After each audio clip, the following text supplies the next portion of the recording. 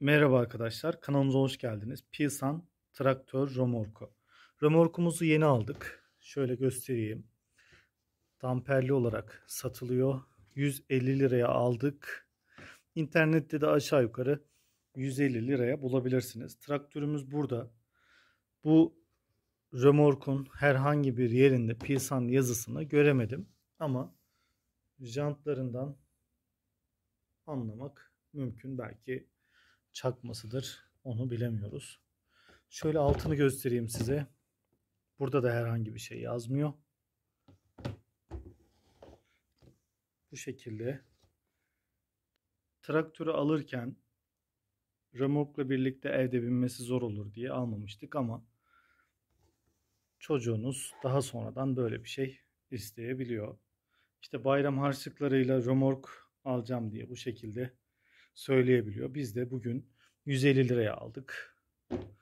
Bu şekilde şimdi artık römorkumuzu takabiliriz. Şöyle göstereyim. Bu zaten traktörün üzerinde geliyor.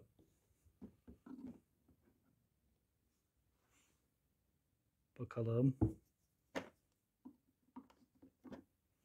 Tam olacak Evet. Artık römork hazır.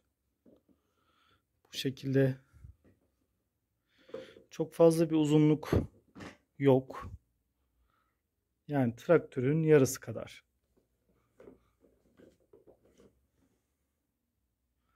Bu şekilde. Biraz daha geriden göstereyim.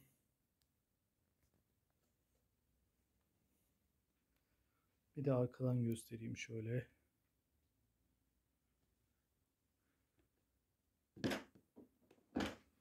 Evet çocuğunuz için oyuncak koyması eğlenceli olur. Bayağı bir derinliği var. Kendinize iyi bakın arkadaşlar. Kanalımıza abone olmayı ve bildirimleri açmayı unutmayın.